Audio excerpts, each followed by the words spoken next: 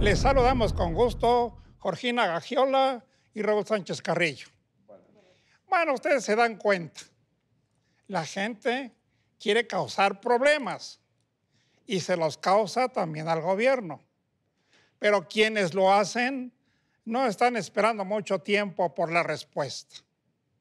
Por ejemplo, ayer que estuvo el primer mandatario en la Macuspana, su tierra natal, le salió al paso algunos de los que quieren apoderarse del sindicato petrolero. Les dijo que son de 20 a 30 que quieren a ese sindicato para apoderarse de las plazas y venderlos. Pero esto se acabó, les dijo. Ya no va a haber más venta de plazas. Y luego, en los altos mandos, también está poniendo orden o ya empezó a modificar su gabinete. En la Secretaría de la Defensa Nacional hizo dos cambios importantes, Raúl. Efectivamente, el presidente eh, de México dio instrucciones vía secretario de la Defensa para que fueran removidos por retiro ya el que era oficial mayor y además otro elemento importante dentro de lo que la estructura militar tiene. Le quiero decir a usted que el general André Georges Fouillon es el nuevo subsecretario de la Defensa y sustituye también a Agustín Radilla a oficial mayor en lugar de David Córdoba Campos. Esto también tiene que ver con dos cambios importantes, toda vez que en el 2019 hubo 20 generales que se fueron a retiro, Félix. Georgina, dijo el primer mandatario que hay quienes solamente están pensando en la grilla y en la politiquería y que a eso se debe que sus asuntos, los asuntos del gobierno, no estén trascendiendo o no se conozcan como debe de ser. Así es, ayer en Macuspana el presidente de la República habló de que hay gente que solamente se dedica a la politiquería y a la grilla. Y dijo que la mentira es el demonio, es reaccionaria y conservadora y que la verdad es revolucionaria.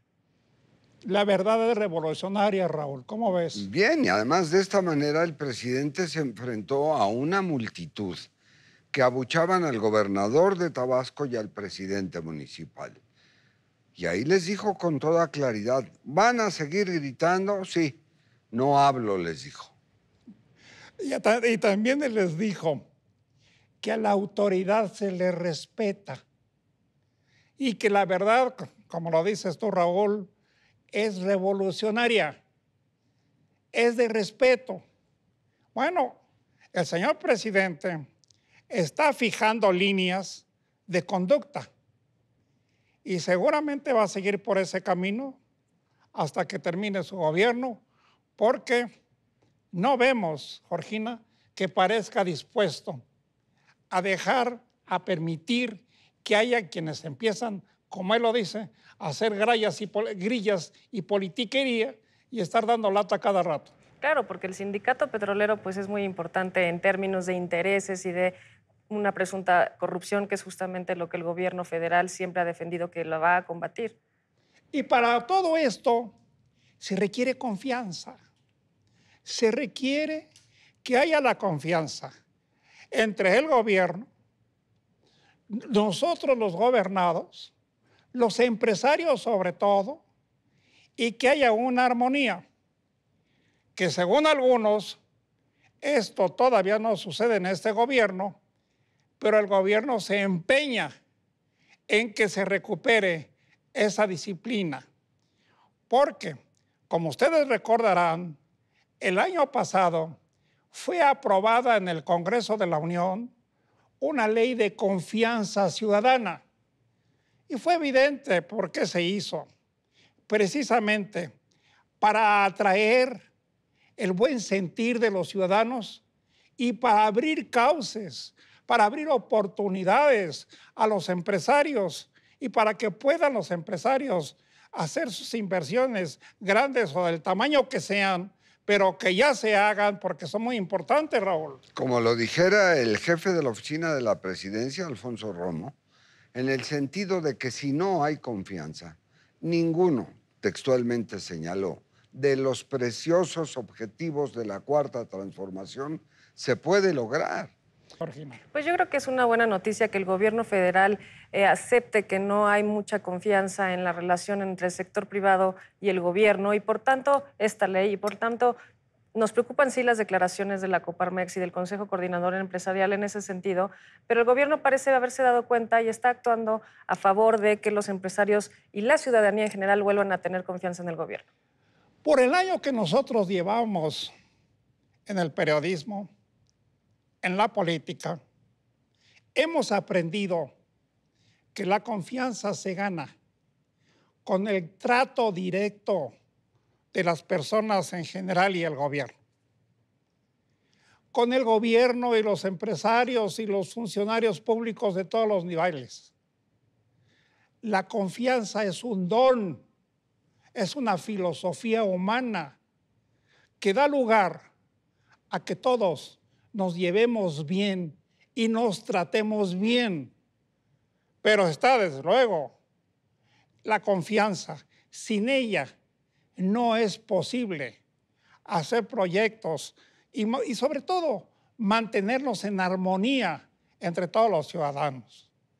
Por eso fue, supongo, que fue aprobada la ley de la confianza ciudadana, pero todavía no llega a los lugares, a los índices en que debe suceder. ¿Por qué?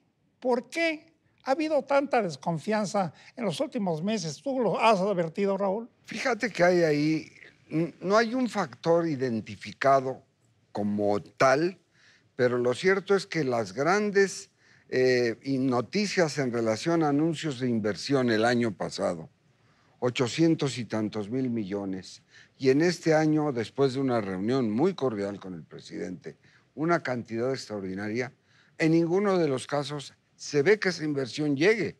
Y si esa inversión no llega, pues no hay desarrollo, no hay crecimiento, no hay creación de empleos.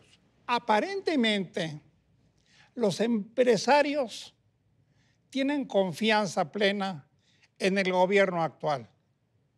Solamente hemos advertido dos grupos, el del Consejo Coordinador Empresarial y el de la Coparmex, que de vez en cuando disienten, como que le hacen reclamos al gobierno de la República porque, pues no sé, porque no hay inversiones o porque a lo mejor ellos lo que quieren es más apertura, más facilidades para que puedan meter sus capitales.